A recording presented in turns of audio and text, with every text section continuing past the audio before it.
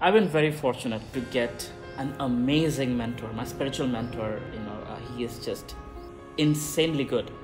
And from him, I've learned what true mentorship or effective mentorship is. And today, I mentor, you know, hundreds and hundreds of young men and women. And, and that's the principle that I follow is this. I don't let people latch on to me and become handicapped. That means it's very easy when you're down and you're weak to latch on to somebody and be like, You're my hope and shelter, and I have no one but you. Please save me. Right? I don't do that because then you'll be always dependent on me.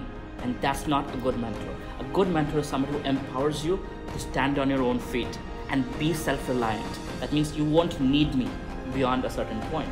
And the way that happens is through loving detachment. Loving detachment means I love you, but I don't want to help you so much that you become dependent on me. I will help you so you can think on your own feet. When you ask me a question, I will not tell you what to do. I will ask you back certain questions with which I will help you find the answers to your problems, which you already know. You just need somebody to help you pull that out of your subconscious mind.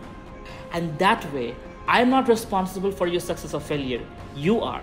But I'm just the guy, I'm the catalyst who's helping you get over your bad situation. So that's a, a very exemplary aspect of a good mentor. The other side of the story is when you're told what to do, like do this. Uh, just because it's a ritual, or that's because your grandmother did it, or Sharmaji ka beta is doing it, so you should also do it, and that's wrong.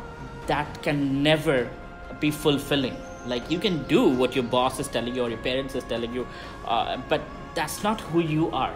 So to find your own answers and how to help you find your own answers, that's the job of a mentor. Now there are certain things that a mentor can give you from experience that you might not know. But again, in that case, also, I'm giving you the situation.